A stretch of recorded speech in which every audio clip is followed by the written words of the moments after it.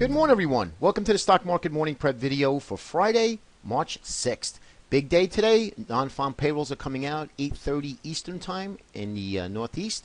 Let's see what happens uh, this morning and how the market participants react to those numbers. Okay, it's not what the numbers are going to be. Uh, more than likely, they're going to be revised up.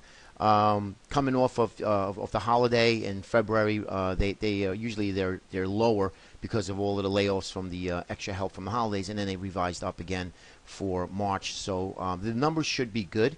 Uh, but now let's just see how the markets react. We are continually trading in this range, as you can see. There is absolutely no movement, guys. I mean, literally, we jumped down the other day and we rallied back up, and now we're just kind of ho- ho- hovering around here.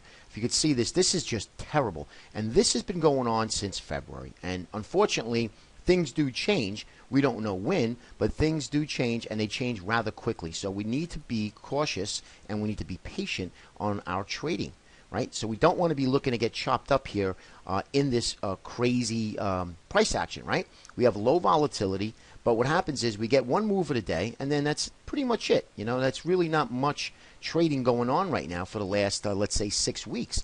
So uh, what do we do? Well, we continue look for patterns. We look for the best trading setups. And if you're specializing in uh, several things, like if you're just trading indices, like I like to do, uh, or um, special situations, maybe a, a, a, downgrade or an upgrade, you know, I would say pick five great ideas for the month. Or even try to make it for the week, but pick five great ideas, seasonal trends, whatever you're into Pick five, monitor them since we're slow, and then look for entries, okay? And look for obviously confirmation that your idea is working. That's what I'm going to do, and that's what I've been doing. Um, very, very quiet, but when you're in front of the screens, you're still working. That does not mean that you have to be in a trade. Let's just keep that in mind, okay? Let's run through the indices real quick. You can see here, um, not much of anything on a 10 minute chart. One thing I want to show you, though, uh, what I love to do is the Bollinger Bands on a 30 minute chart. Bollinger Bands are pinching really, really tight. I think we're going to have an expansion of volatility today. Now, it doesn't tell you which direction, and you guys uh, that follow me know that, but um, it will uh, definitely tell us that we have volatility that is going to uh, come into the marketplace. So when you have these contractions and these Bollinger Bands here and they're starting to curve in, this is telling me that we're waiting for a, a bigger uh, move is coming. A bigger move is coming. Now, I think the non-farm payroll numbers will basically push this market either higher and or lower. We'll see. Um, this local low here is what I'm looking for. 209.06 right here. That pivotal low is what I'm looking for. This is important, guys. We break that low, I think we're going to see some more downside. Okay. Take a look at the daily chart of the spiders. Um, you could see here we, we went nowhere. This whole week we went nowhere. We had one day up we had a couple of small days down. You can see these little dojis that are just forming. These long-legged dojis, a small hammer, um, and this is this is what um, the market is telling you. Hey, take a step back. I don't know which way I want to go, but look what's happening with the Bollinger Bands. They're starting to contract. So that means that we're expecting a bigger move here, guys. Okay. All right. Now let's take a look at the transports. Same thing. Look at the Bollinger Bands here. We have Bollinger Bands contracting here, looking for a move. Right now we're above the 50. We're below the 20 if the Bollinger Bands and, and what this price action is telling me, this looks like that we're looking for lower prices here.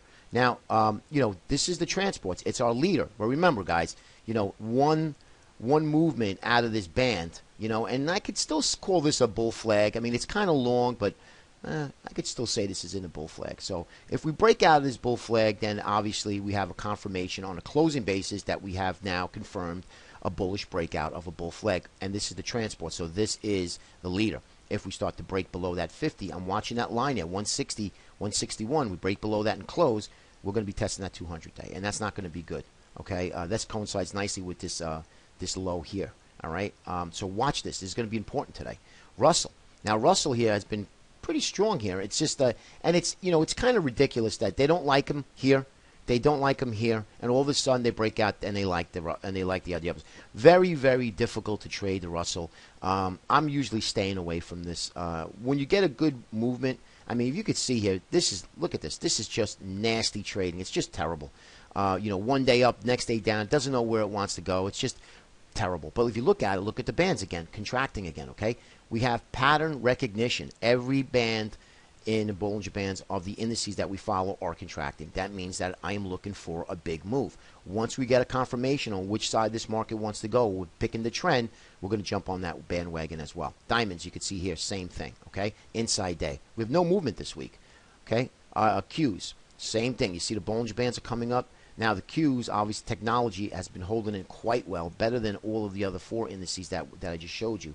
You could see that, but that we lose that 107. Uh, let's call it 108 then I think you're going to test that 20 and then ultimately that 50. Okay, keep that in mind. Write those levels down. I have them posted in my uh, my little post-it on the side, doing the same thing. Hopefully, guys, we can get some movement here and really start rocking and rolling. Have a great day. Have a great weekend. Those of you on the East Coast, be careful. The roads are terrible out here. Take care, everybody.